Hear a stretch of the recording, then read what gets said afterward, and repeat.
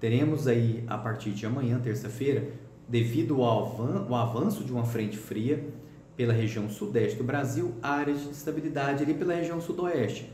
Não estamos esperando grandes volumes de chuva, mas essas áreas de estabilidade já começam a atuar. Já na quarta e quinta-feira, essas áreas de estabilidade já se espalham e, já, e poderemos ter na parte centro-sul do estado de Goiás chuva, né?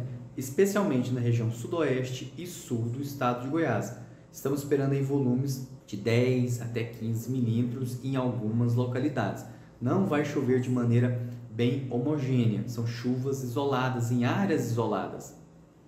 E após a passagem da frente fria, nós teremos sim o avanço de uma massa de ar polar. E essa massa de ar polar promete sim ser a mais intensa durante este ano. Então, já podemos preparar os, os agasalhos e os casacos, né?